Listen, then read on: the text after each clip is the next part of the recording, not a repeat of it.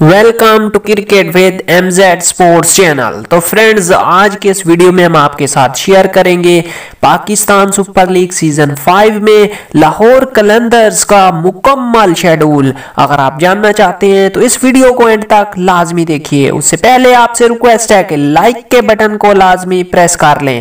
تو فرینڈز آپ کو بتاتے چلیں کہ اکیس فروری دو ہزار بیس کو نیشنل کرکٹ سٹیڈیم کراچی میں لاہور کلندرز کا سامنا ہو ہوگا۔ لالا کی ٹیم ملتان سلطانز کے ساتھ۔ جبکہ تیئیس فروری کو لاہور کلندرز کا سامنا ہوگا۔ لاہوری میں شاداب خان کی ٹیم اسلام آباد یونائٹڈ کے ساتھ۔ اور اٹھائیس فروری کو سامنا ہوگا کلندرز کا ڈیرن سیمی کی ٹیم پشاور زلمیز کے ساتھ۔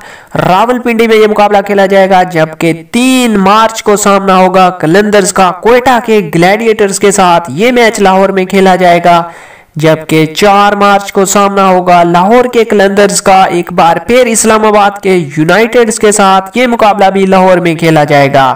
جبکہ سات مارچ کو سامنا ہوگا کلندرز کا کوئٹہ کے گلیڈیٹرز کے ساتھ یہ میچ بھی لاہور میں کھیلا جائے گا اور آٹھ مارچ کو بڑا مقابلہ کھیلا جائے گا لاہور کلندرز اور کراچی کے کنگز سامنے ہوں گے لاہور کے گراؤنڈ میں۔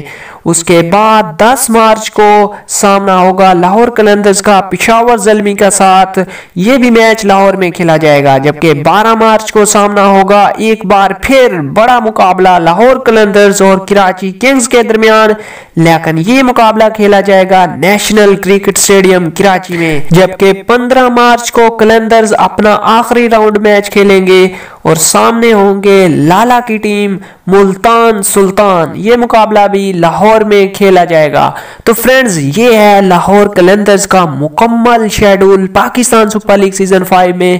اگر ویڈیو اچھی لگی ہے تو لائک ضرور کر لیں اور جو فرینڈز چینل پر نئے ہیں، وہ چینل کو سبسکرائب کرنے کے ساتھ بیل آئیکن کو لازمی کلک کر لیں تاکہ کرکٹ کی ہر لمحہ بدلتی صورتحال سے آگاہ رہ سکیں۔ اور کومنٹس میں اپنی رائے ضرور دیجیے گا کہ Pakistan super league season five میں آپ کی فیوریٹ ٹیم کون سی ہے۔ اپنی رائے کا اظہار ضرور کیجیے گا، ہمیں آپ کی رائے کا انتظار رہے گا۔ تو ملتے ہیں پھر نیکسٹ اپڈیٹ میں۔ تب تک کے لیے تھینکس فار واچنگ بائے